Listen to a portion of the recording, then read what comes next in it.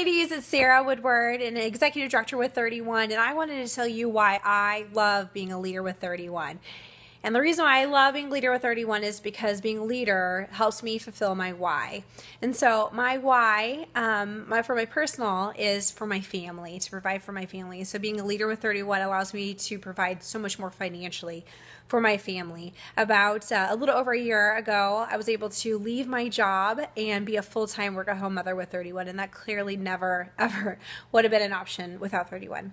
Um, another way that being a 31 leader fulfills my why is that I want to empower women. And by being a leader with 31, I'm able to empower, celebrate, encourage, and reward those women and their businesses and help them be the very best that they can be. And then another reason why I just love being a leader with 31, it is so much fun. So, through the friendships, through other leaders, and through other team members, it's good to be a 31 leader.